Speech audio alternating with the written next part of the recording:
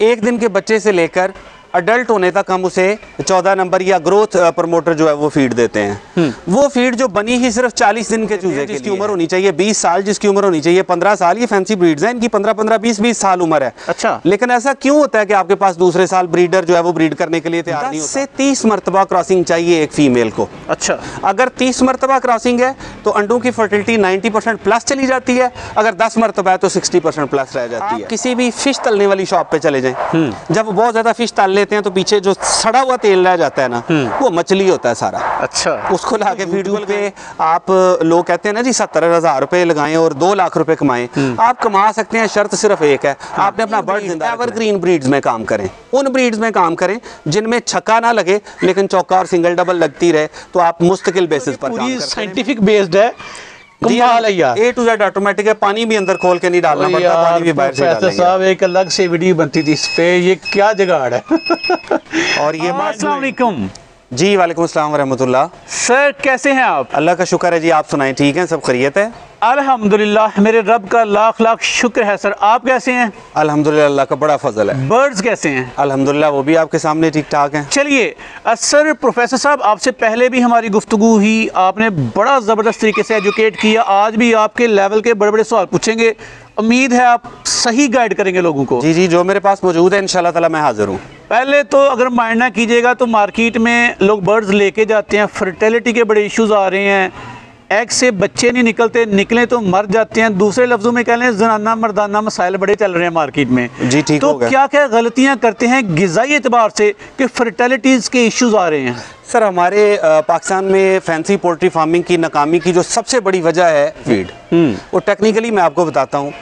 एक दिन के बच्चे से लेकर अडल्ट होने तक हम उसे चौदह नंबर या ग्रोथ प्रमोटर जो है वो फ़ीड देते हैं। वो फ़ीड जो बनी ही सिर्फ़ चालीस दिन के चूजे के लिए है। जो जि- जिसका मकसद ही सिर्फ़ ये है कि चालीस दिन में एक बर्ड को मैक्सिमम गोश्त दे के उसके बाद उसको ज़बह कर लिया जाएगा और फ़ीड का काम ख़त्म हो जाएगा। उसके अंदर सेहत रहती है नहीं रहती वो प्रायोरिटी नहीं है वो अपने पाँव पर खड़ा होता है या नहीं होता वो प्रायोरिटी नहीं है। तो एक फ़ीड जो सिर्फ़ चालीस दिन के लाइफ साइकिल के लिए है वो जब हम अपने चूज़े को देते हैं जिसकी उम्र होनी चाहिए बीस साल जिसकी उम्र होनी चाहिए पंद्रह साल ये फैंसी ब्रीड्स हैं इनकी पंद्रह पंद्रह बीस बीस साल उम्र है। अच्छा। लेकिन ऐसा क्यों होता है कि आपके पास दूसरे साल ब्रीडर जो है वो ब्रीड करने के लिए तैयार नहीं होता? तीसरे साल आप किसी का अंडा नहीं ले सकते। वक्त के साथ साथ अंडों की जो रेशो है वो कम होती जाती है। उसकी टेक्निकल रीज़न सिर्फ़ ये है कि सबसे पहले तो हम उन्हें जो ग्रोथ प्रमोटर फ़ीड डालते हैं ये फ़ीड सिर्फ़ और सिर्फ़ गोश्त बनाने के लिए उसके अंदर कोई ताकत पैदा करने के लिए या इम्यूनिटी पैदा करने के लिए नहीं है। उसके बाद हम आ जाते हैं जो अंडे वाली लेयर फ़ीड है। अब लेयर फ़ीड का भी जो बुनियादी तौर पर मकसद है वो सिर्फ़ एक साल के लिए अंडा लेने के लिए धड़ाधड़ अंडे। धड़ाधड़ अंडे। उसका मकसद सिर्फ़ ये है कि मुर्गी के अंदर कुछ रहे या ना रहे। एक साल के अंदर जितने ज़्यादा अंडे मुर्गी दे सकती है वो दे दे। तो जब आप फैंसी ब्रीड को मशीन बनाएँगे फिर अगले साल किस तरह ब्रीड करेगी? फिर उसके बाद फर्टिलिटी इश्यूज़ भी आएँगे। तो वो वो जो फ़ीड है वो सिर्फ़ अंडा लेने के लिए फर्टाइल अंडा लेने के लिए नहीं है। तो फ़ीड सबसे बड़ी प्रॉब्लम है। अगली चीज़ ये, एक बड़ा अहम नुकता है, चूँकि टाइम बहुत कीमती है आपका। अगली चीज़ ये है, हम अपने फार्म को बचाने के लिए सैनिटाइज रखने के लिए क्या क्या कुछ करते हैं? लेकिन जब हम ये फ़ीड लेकर आते हैं आपको भी पता है मुझे पता है सबको पता है मुर्गी की अंतड़ियाँ डली होती हैं इनमें। आप कैसे बचाएँगे बर्ड को? इस इतना टीका ऑयल इसमें यूज़ किया जाता है उन मुर्गियों की अंतड़ियों का ऑयल यूज़ किया जाता है। मैं इनको स्प्रे कर करके थक जाऊँ सैनिटाइज़र के। मैं आपको फार्म के अंदर लाने से पहले सैनिटाइज करूँ। लेकिन मैं जो उन्हें खिला रहा हूँ तो हमारे यहाँ ये मैकेनिज्म होना चाहिए कि फैंसी ब्रीड की फ़ीड अलग कंपनीज़ को बनानी चाहिए। अदरवाइज़ जो है हमें अपनी अपनी फ़ीड खुद तैयार करके काम करना चाहिए। मेरे पास आज पिछली वीडियो में भी आपने देखा था दो साल हो गए थे उस बर्ड को। आज भी आपको मैं वो पेयर दिखाऊँगा और उसके केज में अंडे भी पड़े हुए हैं। माशाल्लाह बड़ी बड़ी बातें कर रहे हैं सर। वीडियो बड़ी कमाल की है एंड तक भी देखिएगा। सर मैंने जनाना मर्दाना मसाइल की बात की ये अक्सर फार्मर से मुझसे रबता किया कि हमारे अंडों की फर्टिलिटी नहीं मुर्गा जो है क्रॉस नहीं कर रहा। आम रूटीन में एक मुर्गा दिन में कितनी बार क्रॉस करता है और क्या गज़ाई एतबार से हम उसको मार देते हैं अंदर से कि वो क्रॉसिंग के काबिल ही नहीं रहता? और अगर क्रॉस करता है तो एक क्रॉसिंग के रिज़ल्ट कितनी देर तक मिलते रहते हैं? सर एक अच्छा फर्टाइल अंडा लेने के लिए आपका अब बहुत सारी चीज़ें मैटर करती हैं। आप उसे खाने को क्या दे रहे हैं? वो मैटर करता है।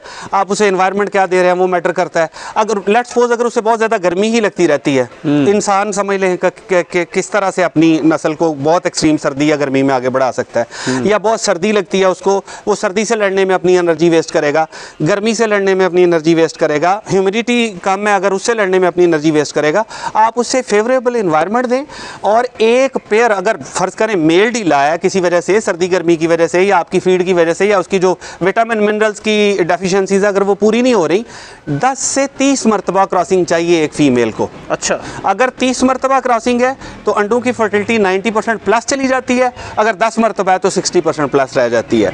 और अगर इससे भी कम है तो और भी ऊपर से प्रॉब्लम हमारी ये है कि एक एक फीमेल है छः छः एक एक मेल है छः छः फीमेल्स लगाई वेरी गुड ये बड़ी ज़बरदस्त बात बता रहे हैं। आपने अगर छह फीमेल्स लगानी है तो उसको कुश्ते बादाम भी देने हैं फिर। हम्म। ताकि वो उन फीमेल्स को पूरी तरह से फर्टाइल करने के लिए क्रॉसिंग दे और। माजरत के साथ हम इंसानों के डॉक्टर्स हैं जो हमको प्रॉपर ट्रीट करते हैं गाइड करते हैं एजुकेट करते हैं इनके डॉक्टर फार्मर्स खुद हैं यस yes, यस yes. तो आप देखें ना हम हम आ, अप, अपनी डाइट जो है वो अपनी मौसमी ज़रूरी है अब देखें ना सर्दियों गर्मियों में एक ही फ़ीड दे रहे हैं। क्या आप सर्दियों में कोल्ड ड्रिंक का इस्तेमाल कम नहीं कर देते? बिल्कुल चाय धड़ाधड़ पीते हैं। क्या आप गर्मियों में चाय का इस्तेमाल कम नहीं, कर कम कर देते हैं। तो फिर इनकी फ़ीड का भी तो कोई फ़र्क होना चाहिए ना सर्दी गर्मी का? सर्दी गर्मी के इन्वायरमेंट का इनका भी मुख्तलिफ़ होना चाहिए।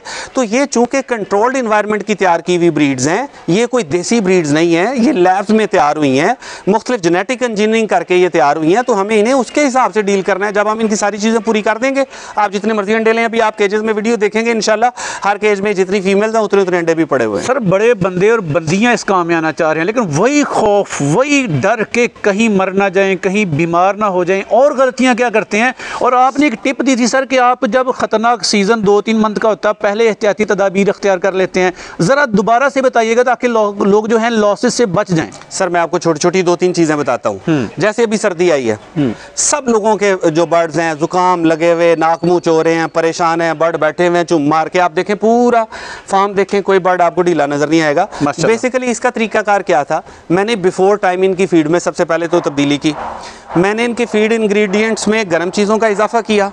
फिर उसके बाद लोग आमतौर पर इनको एवियन के फ़िश के कैप्सूल दे देते हैं। मैं एक छोटा सा फार्मूला आपको बताने लगा हूँ। आप किसी भी फ़िश तलने वाली शॉप पे चले जाएँ। जब वो बहुत ज़्यादा फ़िश तल लेते हैं तो पीछे जो सड़ा हुआ तेल रह जाता है ना वो मछली होता है सारा। अच्छा। उसको ला के फ़ीड को लगाएँ। आप सर्दियों के दो महीने दें। बर्ड को बाहर से गर्म रखने के बजाय बर्ड को अंदर से गर्म रखें। Good. आप बल्ब लगा लगा के हीटर लगा लगा के उनको गर्म करते हैं। आप आ, हमारे यहाँ ऐसा इन्वायरमेंट नहीं है कि आप 24 घंटे सेम टेम्परेचर दे सकें। लाइट चली जाएगी। कोई भी मसला आएगा। आप एवियन के चार पाँच कैप्सूल खा के तो सारे कपड़े उतार के बाहर बैठ जाएँ। आपको बिल्कुल भी सर्दी नहीं लगेगी।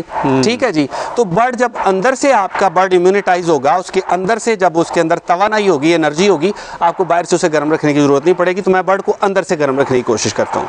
अब आपके बर्ड्स देखने से पहले सर, बड़े बड़े एजुकेशनल सेमिनार्स करते हैं। अलिफ से लेकर ये तक आप चीज़ों को जानते हैं। रिसर्च पे बड़ी बड़ी गहरी नज़र है। बच्चों को मोटिवेट करते हैं। जॉन मिल्टन शेक्सपियर पढ़ाने की बजाय, अलिफ से नार बे से बकरी पढ़ाने की बजाय, इस स्कूल को आप टाइम दे रहे हैं। तो अलिफ से लेकर ये तक कितना सीख पाए आप? आज आप किस लेवल पे हैं? क्या आप जान पाए या जानने के लिए आपको मज़ीद टाइम दरकार है? सर देखिए इसको सीखने के लिए दस उम्रें भी कम है। ये बहुत वसी है। जितना ज़्यादा आगे चलते जाएँगे दरवाजे खुलते जाएँगे। लेकिन मैं आपको दो चीज़ें बताऊँ। मैं जब इसमें आया था तो मैं सबसे पहले किस चीज़ से डरता था? यार हवा या सारे का सारा शेड सो गया लोगों का। फलाने का सारा शेड मर गया है। सबकी आँखें खराब हो गई हैं। अल्लाह का शुक्र है एक बार भी ऐसी कोई वायरल बीमारी नहीं अब तक आई। अल्लाह ने फजल रखा हुआ है। सिर्फ़ क्या है कि टेक्निकली ज़रा समझ बूझ के बर्ड को डील करते हैं। देखें ये जो यूट्यूब पे आप लोग कहते हैं ना जी सत्तर हज़ार रुपये लगाएँ और दो लाख रुपए कमाएँ आप कमा सकते हैं शर्त सिर्फ़ एक है। आपने अपना बर्ड ज़िंदा रखना है। बिल्कुल ये चैलेंज है बड़ा। अब बर्ड ज़िंदा रखना है ये सबसे बड़ी बात है। अगर आप अपना बर्ड ज़िंदा रख पाते हैं उसको सेहतमंद रख पाते हैं और उससे ब्रीड ले पाते हैं तो जितने मर्ज़ी पैसे कमा लें अल्लाह का शुक्र है बड़े अच्छे पैसे कमाए जा सकते हैं। चलें सर आज से कितनी देर पहले आप हमारे चैनल की जीनत बने थे तकरीबन? ये दस माह पहले जी मेरी आपकी वीडियो आई थी। दस माह का अरसा कैसा गुजरा? क्या खोया? क्या पाया? क्या क्या तब्दीलियाँ की हैं? जरा बताइएगा। देखिए जी दस माह में मैंने सबसे पहली तो पहले सबसे पहले जो मैंने फार्म दस माह पहले जो मेरे पास था वो भी अल्हम्दुलिल्लाह ए प्लस क्वालिटी के बर्ड से लेकिन वो लोकल ब्रीड्स थी। ठीक। अब मैंने क्या किया है कि मेरे फार्म पर 80 परसेंट ब्रीड्स जो हैं वो इम्पोर्टेड हैं। गुड रिंग बर्ड्स हैं बेल्जियम से आए हैं और बाकी की जो 20 परसेंट है वो एफ़ वन है। यानी वो किसी ना किसी रिंग बर्ड्स के बच्चे हैं। तो मैंने सारे फार्म को तब्दील किया है लेवल को अप किया है और अल्हम्दुलिल्लाह इसके साथ साथ क्या है? कि रेट जो जो चूज़े का रेट है वो हम वही दे रहे हैं जो एक लोकल बर्ड का है। ताकि लोगों तक क्वालिटी बढ़ जाए। अब अगर लोकल बर्ड में कोई समझता है कि जी फॉर एग्जांपल कोई सिल्की है कोई कहेगा जी हमें छः सौ का कोई फलाना बेच रहा था तो वो छः सौ मार्केट रेट नहीं है। जो मार्केट रेट होगा इनशाला उसी रेट पर एवरेज रेट पर आप लोगों को रिंग बर्ड्स के बच्चे मिलेंगे। सर डर लगता है। हमारे भी एक बहुत बड़े फार्मर है सागर सदीकी साहब वो भी कह रहे थे कि सर ब्रीड्स आती हैं जाती हैं। ब्रीड्स की सिलेक्शन करना नए बंदे और बंदियों के लिए बड़ा एक मुश्किल सा काम है। सर, बड़ा अच्छा सवाल आपने पूछा है, मैं इस पर वीडियो भी देने वाला था। सबसे पहली बात यह है मैंने एक बार पहले भी ये ज़िक्र किया था कि एक वक्त में एक एक ब्रीड जो है ना वो मार्केट को हाइप पे लेके गई होती है। ठीक। जैसे कुछ देर पहले राज की एस्ट्रोलॉप ने। एस्ट्रोलॉप के बाद आ गई लाइट सुसेक्स लाइट सुसेक्स के बाद है अब आयाम से मानी ठीक। मेरी नए फार्मर को मैं एक मैकेनिज्म बताता हूँ अगर वो उसे फॉलो कर लेगा तो नुकसान नहीं करेगा। सर जो बड़े फार्मर्स होते हैं ना वो सबसे पहले इन्वेस्टमेंट करके उस ब्रीड को तैयार करके फिर उस ब्रीड को हाइप देते हैं। ठीक। जैसे एस्ट्रोलॉब थी बड़े फार्मर्स ने जिन्होंने पहले से तैयार की हुई थी बड़े पैसे कमाए। मेरे आप जैसे लोगों ने उनके चूज़े लिए आठ दस माह में वो चूज़े तैयार हुए जब उनका अंडा आया वो टगे टिंडो हो गई। ऐसे ही। उसके बाद लाइट सुसेक्स आ गई। जी लाइट सुसेक्स जी पच्चीस सौ रुपये का चूज़ा जी तीन हज़ार रुपये का चूज़ा। अब जिन्होंने लिया था पच्चीस पच्चीस सौ का तीन तीन हज़ार रुपये का। अब जब उनकी ब्रीड आठ नौ माह बाद तैयार हुई तो वो भी रुल गई और उसको उसकी जगह ले ली उसने अयाम से मानी ने अब अयाम से मानी कितनी देर तक जो है वो टॉप पे रह सकती है? मैं समझता हूँ कि ये उतनी नीचे नहीं आएगी चूँकि ये फैंसी ब्रीड है। लेकिन एक वक्त आएगा ये भी वापस आएगी। ऐसे ही तो बेस्ट फ़ार्मिंग का तरीकाकार ये है रनिंग ब्रीड एवरग्रीन ब्रीड्स में काम करें। उन ब्रीड्स में काम करें जिनमें छक्का ना लगे लेकिन चौका और सिंगल डबल लगती रहे तो आप मुस्तकिल बेसिस पर काम करते रहे। मैंने ना तो एस्ट्रोलॉप कभी रखी ना मैंने कभी लाइट सुसेक्स रखी और ना ही मैंने कभी ये आम से मनी रखी है। सारी रेगुलर ब्रीड्स आज से दस साल पहले भी बिकती थी इंशाल्लाह बीस साल बाद भी बिकेंगी। यार ज़बरदस्त। चलिए प्रोफेसर साहब की ब्रीज देख रहे इससे पहले कि शाम पड़ जाए हम देखने से महरूम रह जाए। प्रोफेसर साहब एक एक करके अपनी सिंगल और डबल वाली वाली यानी एवरग्रीन ब्रीड्स दिखाइए हमें। जी जी मैं इंशाल्लाह आ जाए मैं आपको दिखाता हूँ। ये देखें जी ये एफ़ वन ब्रीड है रिंग बर्ड्स के बच्चे हैं। ये इनकी उम्र है अभी साढ़े चार से पाँच माह। ये ब्लू कोलंबियन ब्रामा है। इंशाल्लाह ताला मुझे उम्मीद है कि ये हमें अच्छी प्रोडक्शन देंगे। ये मेरे पास एक पेयर है चौथा साल है। चार साल उम्र है चार साल उम्र है और आप देखेंगे कि इसके केज में आगे अंडा भी पड़ा होगा। तो ये ये ये इस पेयर की उम्र ये चौथा सीज़न इसका चल रहा है तीन साल इसकी उम्र है। अल्हम्दुलिल्लाह अभी तक भी ले कर रहा। है सर हम तो समझते हैं कि इस उम्र में बर्ड्स फारिग हो जाते हैं। सर आप कमर्शियल फ़ीड डालेंगे तो फिर डेफिनेटली जो एक साल के अंडे के लिए है सिर्फ़ फिर फारग ही हो जाएँगे। गुड हो गया। बड़ी नायाब कीमती बातें हैं जी। वीडियो को एंड तक देखिए। अभी आगे बड़ा कुछ है जी। यहाँ पर ये देखें जी। जी इस ब्रीड का भी चौथा साल है। माशाल्लाह मोस्ट सीनियर ब्रीड आपके पास। ये सिर्फ़ दो ब्रीड जो है वो मैंने पिछले फार्म से रखी हैं बाकी सारी मैंने चेंज कर दी हैं क्योंकि ये मुझे ज़ाती तौर पर बहुत पसंद है। और इसमें भी आप देखें कि अंडा पड़ा हुआ है। ज़बरदस्त। गुड चलें जी ये मेरे पास एफ़ वन ब्रीड है जी गोल्ड डबल लेस ब्रामा दो फीमेल्स हैं एक मेल है ये भी ब्रीडर है अल्हम्दुलिल्लाह अच्छी ब्रीड कर रहा है अभी रिसेंटली इसने ब्रीड स्टार्ट की है। माशाल्लाह। बहुत ही प्यारे बर्ड्स हैं जी। यहाँ पर जी। जी ये है पुरसलिन ब्रामा पुरसलिन ब्रामा का पेयर है ये भी एफ़ वन है। इसके पेरेंट्स जो है वो रिंग बर्ड हैं वो भी बेल्जियम से आए थे। और ये पुरसलिन ब्रामा का एक रेयर ब्रीड्स में से ये एक ब्रीड है। और अल्हम्दुलिल्लाह ये भी हमारे पास ब्रीड कर रही है। की लंबाई चौड़ाई भी ज़रा बता दीजिएगा। सर ये चार बाई पाँच के खुडे हैं जो कि मैं समझता हूँ कि ब्रामास वगैरह के लिए थोड़े से छोटे हैं। थोड़े बड़े होने चाहिए। हाँ जी बड़े होने चाहिए। गोल्ड पार्ट्रिज ब्रामा इसने भी रिसेंटली ब्रीड शुरू की है माशाल्लाह और ये भी एफ़ वन ब्रीड है। जी ये वाइन डॉट है और ये भी माशाल्लाह ये लार्ज में है। जी लार्ज में है वाइन डॉट और बेल्जियम से है ये भी 2021 का रिंग है अभी इन्होंने लेंग शुरू नहीं की। ये वाइट सिल्की हैं यूरोपियन बर्ड्स हैं ये भी माशाल्लाह इन्होंने भी लेंग शुरू कर दी है इनके भी चिक्स आ रहे हैं मेरे पास। और अल्हम्दुलिल्लाह बड़ी अच्छी इनके मैंने जो है वो हेड्स थोड़े ट्रिम किए हुए हैं क्योंकि इनको नज़र ही कुछ नहीं था आता जब ये आए थे मेरे पास। ज़बरदस्त क्वालिटी है माशाल्लाह। ये जी सिल्वर लेस्ड सिल्की है ठीक है? और ये भी माशाल्लाह ब्रीडर आप देखें इसमें माइंड ब्लोइंग अमेजिंग क्वालिटी है माशाल्लाह। अल्हम्दुलिल्लाह ये भी लेंग है और इसके बीच एक रहे हैं मेरे पास। ये सप्लाई सिल्की है जी ये भी रिंग बर्ड है माशाल्लाह ये 2021 का रिंग है। और इम्पोर्टेड है ये भी और ये भी माशाल्लाह ले कर रहा है इसके भी चिक्स हैं हमारे पास। अंडे इनके खुड्डों में रहने देते हैं आप? जी ये शाम को निकालते हैं। अभी ये आज सबने दिए। हैं अच्छा। शाम को इंशाल्लाह हम इनको उठा लेंगे अंडों को और कल फिर दोबारा शाम को अंडे उठा लेंगे। जी ये लैकन वेल्डर का ब्रीडर पेयर है माशाल्लाह सेट है और ये भी एफ़ वन ब्रीड है और इसमें भी माशाल्लाह कोई ना कोई अंडा पड़ा होगा। ये जी प्लाईमाउथ राक है। ये मेल जो है वो अमेरिकन है। ये मेरे बड़े प्यारे दोस्त हैं सागर भाई वो भी फ़ार्मिंग करते हैं। ये उन्होंने मुझे गिफ्ट किया था और फीमेल्स मैंने लाहौर से मंगवाई थी। ये सागर सदीकी साहब फैंसी दुनिया के जो बादशाह हैं जी। अच्छा अच्छा हाँ। ये देखें जी ये कोयल बैंटम है। और ये भी बच्चे हैं। इनकी कोई तीन साढ़े तीन साल तीन साढ़े तीन माह उम्र है। इन ताला ये महीने एक तक ब्रीड शुरू कर देंगे। ये कमाल चीज़ है। मैं मैंने प्रोफेसर साहब ये पहली मरतबा देखे हैं। मैंने ये सिर्फ़ डिफरेंट होने की वजह से रखे हैं। वैसे इनकी कोई प्राइस इतनी हाई नहीं होती। अच्छा। आ, लेकिन ये मैंने डिफरेंट होने की वजह से रखे यार ज़बरदस्त। ये बिल्कुल स्मॉल साइज़ है इनका जी। बिल्कुल ऐसे ही है ऐसे ही है। ये जी सिल्वर से ब्राइड के रिंग बर्ड्स हैं। ठीक है? इनका एक मेल और एक फीमेल नीचे लहदा है। ये इनकी ज़रा फाइट हुई थी आपस में। तो ये फीमेल्स मैंने तीन अलहदा की हुई हैं। तो इनमें भी 2021 का बेल्जियम का रिंग पड़ा हुआ है इनके पैर में भी। ये भी ब्रीडर है। गोल्डन से ब्राइड का जी माशाल्लाह रिंग बर्ड है। 2021 का रिंग है इसका भी। और ये भी ब्रीड कर रहा है लेंग है। और इसके भी चिक्स हैं हमारे पास। जी, ये बफ ब्राइड का रिंग बर्ड का सेट है। और 2021 का रिंग है, इसका भी ये भी लेंग कर रहा है। और इसके भी चिक्स हमारे पास आ रहे हैं, अल्हम्दुलिल्लाह। प्रोफेसर साहब आपकी क्वालिटी देखिए माशाल्लाह। अभी मज़ीद कोई आपके सेटअप में जो चीज़ें दिखाइए हमें। जी आ जाए मैं आपको ब्रीडिंग रूम दिखाता हूँ। मशीन जो हम हम किस तरह वर्किंग कर रहे हैं।